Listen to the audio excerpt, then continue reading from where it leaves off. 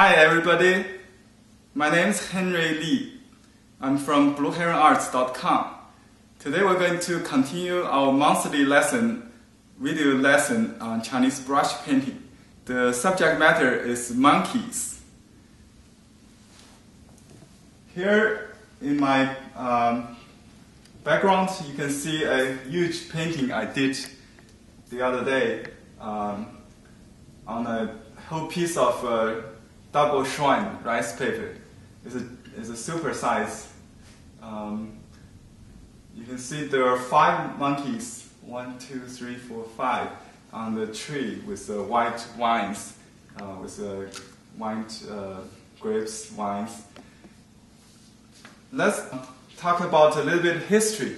So whenever we start a new subject matter, we need to know the history, uh, the aesthetics, and uh, uh, the uh, evolution of monkey from from the live monkey to the you know in the nature and the cultural relics in second nature I call it. Um, basically, there are two schools of monkey painting. One is expressionistic, known as uh, Mu Qi style or Mu Qi school. Uh, in Japan, um, is very dominant school of uh, uh, Sumi-e painting, derived from this Mu Qi school. Uh, not only monkeys, but also like cranes and uh, other uh, animals and um, landscapes, or even um, figures. Here we have the earliest masterpiece by master or monk um, Mu Qi by his uh, Buddhist title, he also known as Fa Chang. So uh, his painting is very uh, simplistic, and uh, you can see in the uh, detailed picture I put on my slides, uh, the the face of the monkey is very abstract, um, almost like today's smiley symbol, only two dots and a little smiley face, you know and uh, there's a white uh, white uh, area surrounding the eyes and nose. Um, this long-armed monkey known as uh, uh, gibbon, gibbons, I think, uh, one of the popular in Asia, I guess. Uh, and it's most common in this kind of uh, painting. We call it uh, Mu Qi school or expressionistic school versus the other more uh, contemporary style uh, or uh, realistic style uh, in animal painting uh, in today's China or Japan. actually, in modern Japan, they have developed this new style, had influence on the Nan school, the southern China school. They are more realistic. Um, so today we focus on this Mu Qi school of painting. Uh, I'm going to do a demo of this masterpiece uh, on this uh, blank scroll, silk scroll. It's already mounted with a plain white, white uh, rice paper. Um, so I'm going to draw some sketch while I'm talking about the uh, monkeys, gibbons. The gibbons or monkeys are very um, much look like humans. That's why we like them, right? But in painting, you need to remember not to mess up, to mix up with uh, human figures. So there are differences between the monkey and the humans, of course. Um, I'm going to draw roughly um, the composition first. This is a, a pine or cypress tree.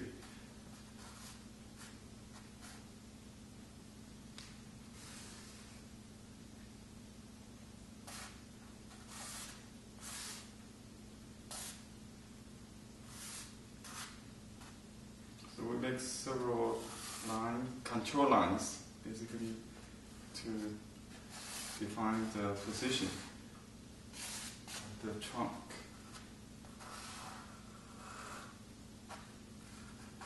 You don't have to follow exactly um, the master. He's more importantly to learn the method of uh, brush strokes and uh, the ideas.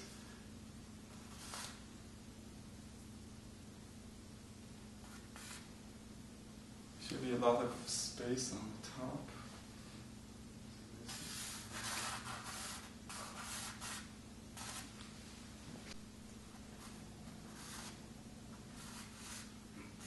the. Reason I'm doing this is uh, to avoid uh, running out of space in the end. So I want to make sure the tree fit into the frame.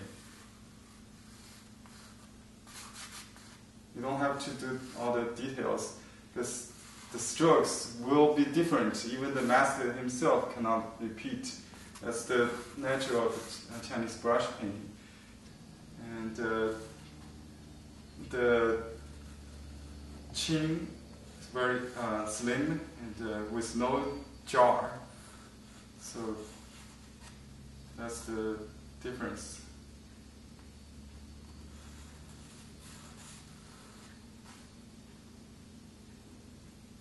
Little baby. You can just draw a circle roughly. Don't have to be exact. Not you know just precision it first.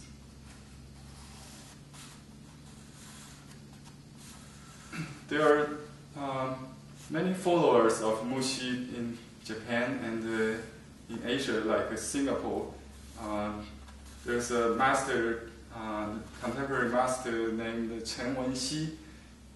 He is very good at Mu Qi style and uh, with color. This paint, the huge painting, I followed some inspiration from Chen Wenxi he is inspired by Mu Qi for sure. So the this is the uh, development.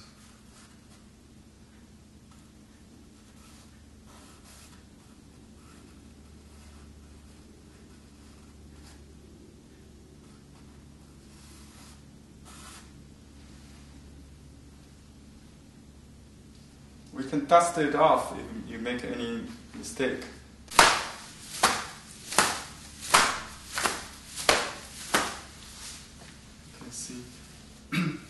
disappears. The face very small.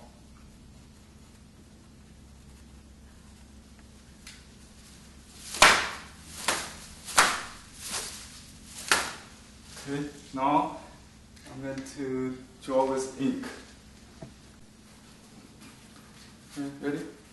I'm now using a small weasel brush and load dark ink, pure ink, to start with the, the face.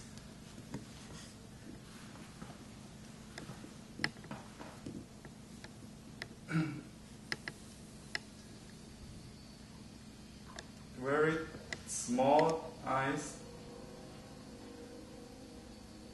and a little nose.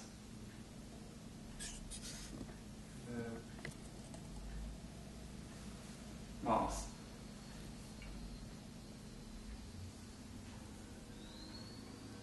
Okay, this little one.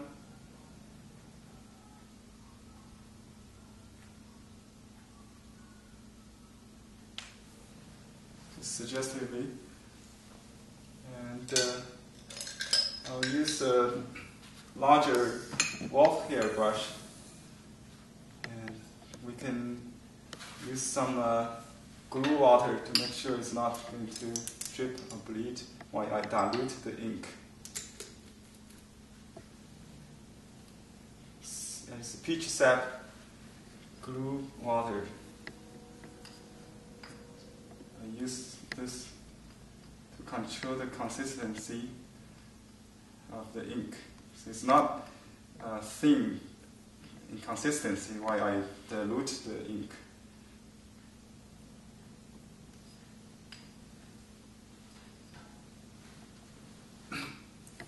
you can you can um, do a light wash if you will, or you can just start uh, from a, uh, little. I think I should uh, also define the note, the ears. You cannot uh, just do something like a sketch. When the brush is split, it's perfect. It with the split hair, parallel lines, like that. Notice the triangle uh, in the ch- the chin and the, the jar, so it's not perfectly round.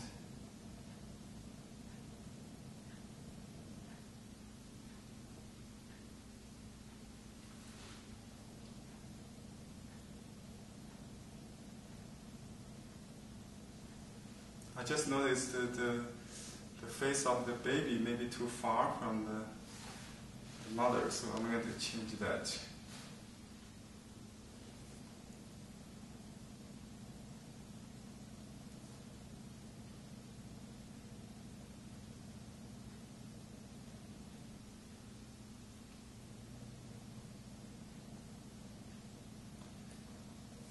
The uh, shoulder actually is very tall.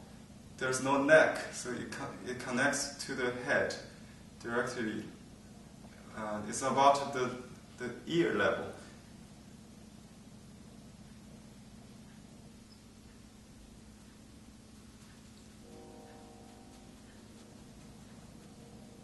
I think uh, the sketch is too so I'm going to modify it.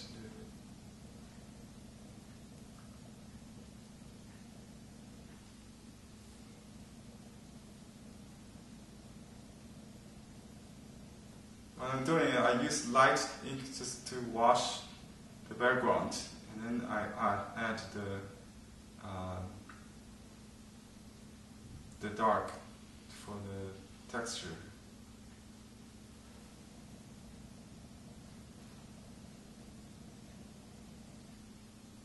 And this line could be thinner than the uh, intended, the intended.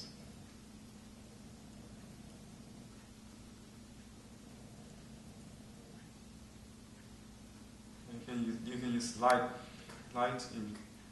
You can change it if not uh, accurate. Now I reload the brush with dark and redefine the face of the baby.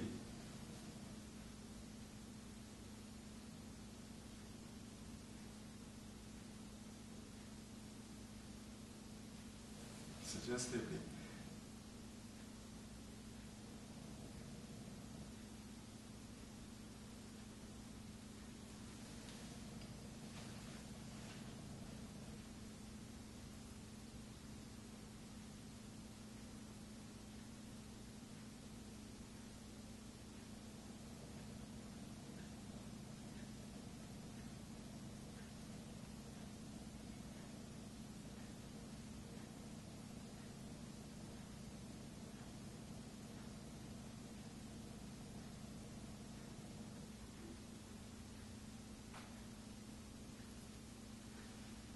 Actually, you can see the paper still um, has the smearing effect. It's not like sized Shuen, even it's mounted. I think they used the, the silicone paper, uh, silicone glue instead of the traditional paste. So that makes the painting still very uh, absorbent, which is really good. I like.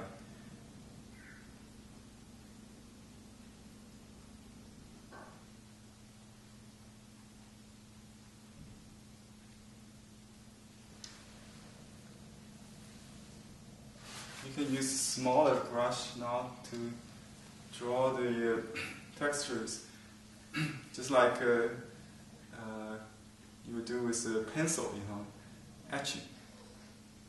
Notice the direction of the hair.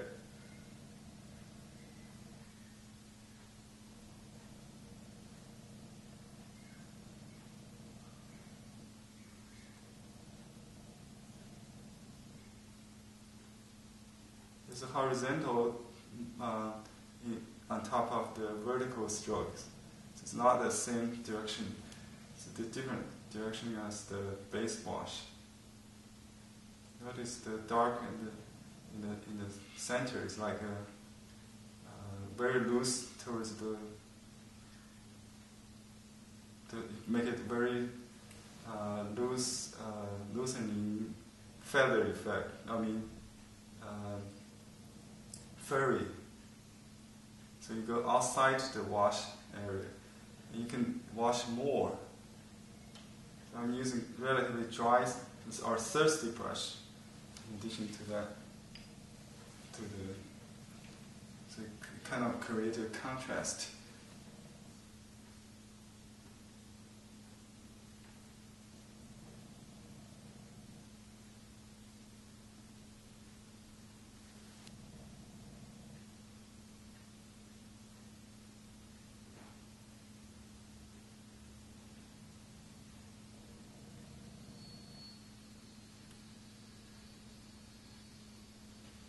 Change directions occasionally, so they kind of uh, uh, crossing or overlapping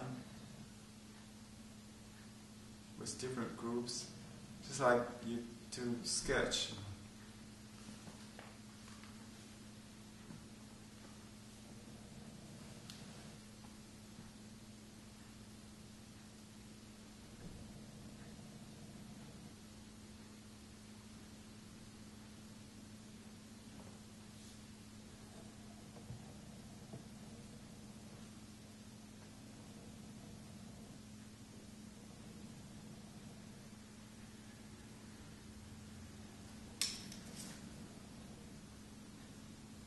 add more light ink wash.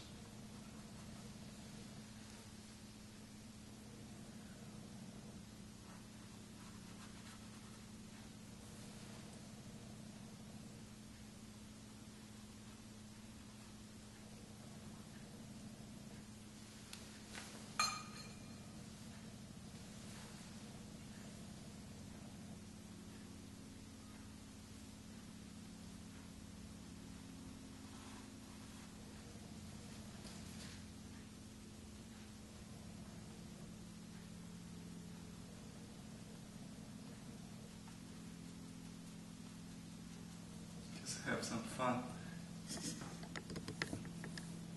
with thirsty brush. You can, you alternate the two. And this can also go this way.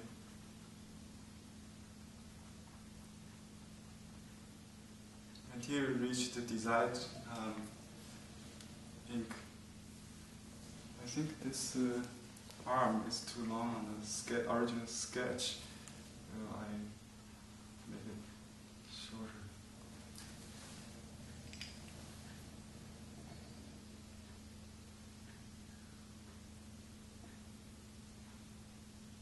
Very calligraphy. Calligraphy look. Draw the finger and that.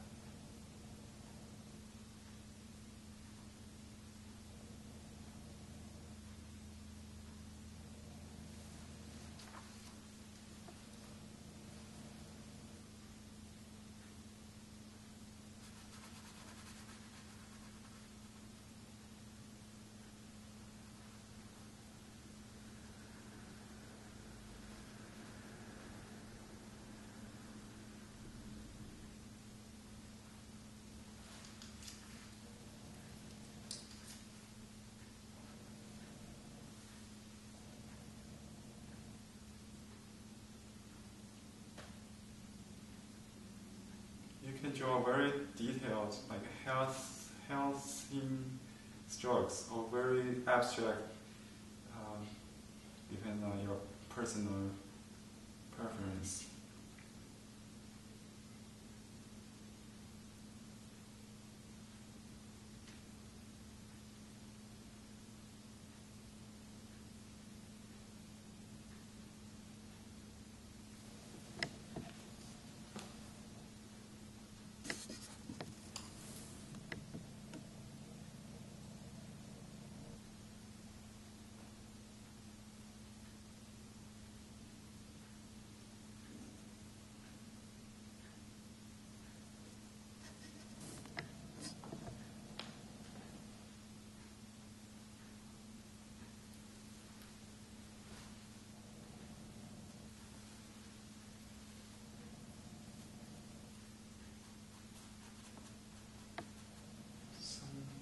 Part are more void or loose.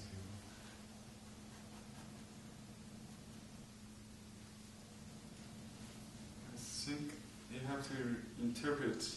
So if you are not clear, the audience is not going to clear what's in their picture.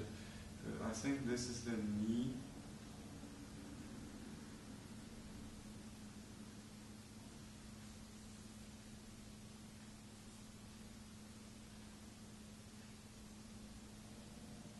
So the other foot,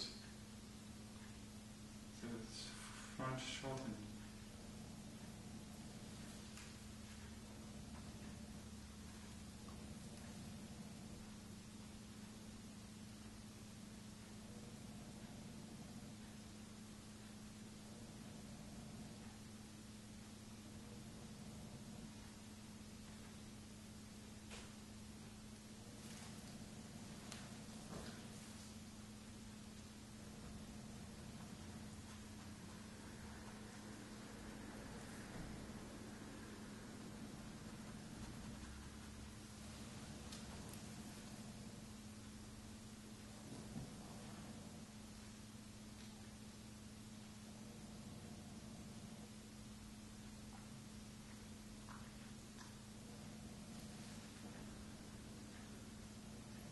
redefine the ears.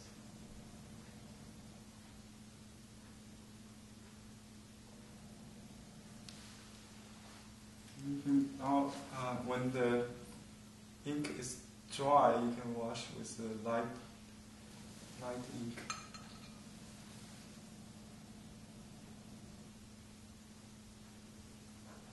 Will not cover the line.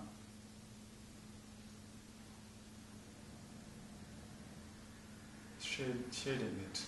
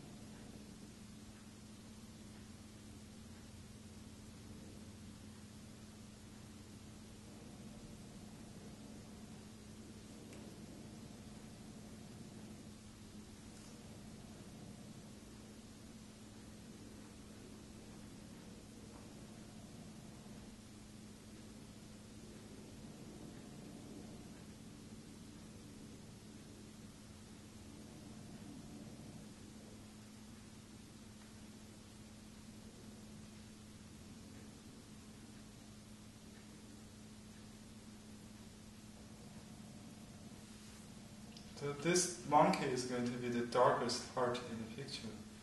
So I'm going to keep adding the texture until it reaches the darkness I want.